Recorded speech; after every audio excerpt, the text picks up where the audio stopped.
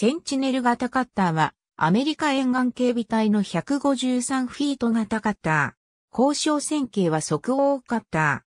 本型は、沿岸警備隊の総合的近代化計画である、統合ディープウォーター計画の一環として、現在49隻が運用されている、アイランド型カッターの後継として開発された。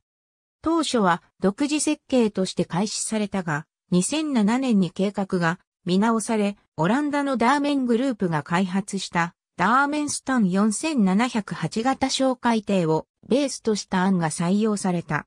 本型は主兵装としてマーク38モットに 25mm 単装機銃を1機搭載する。これは M242 ブッシュマスターを RWS と組み合わせたもので、運用等から RFS と同等のものであると推測される。また、船尾には小型のスリップウェイが設けられており、ここには7メートル級の高速複合艇である SRP が収容され、高速航行時の要収にも対応しているとされている。なお、海上保安庁では、本型とほぼ同級である奄美型巡視船において、同様に高速型複合艇を運用するためのドックを装備したものの、その運用実績を評価した結果、後続の都から型巡視船では採用しなかったという経緯がある。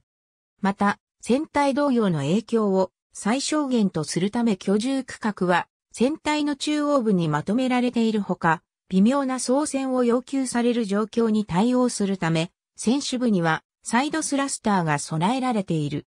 2008年9月、一番船がルイジアナ州のボリンジャー造船所に発注されており、2010年3月22日、この一番船はバーナード・シー・ウェバーと命名されることとなった。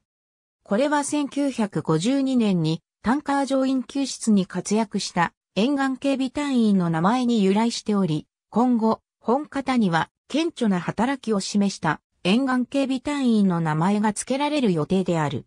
2010年10月27日、沿岸警備隊は最初の14席の命名予定を公表した。ありがとうございます。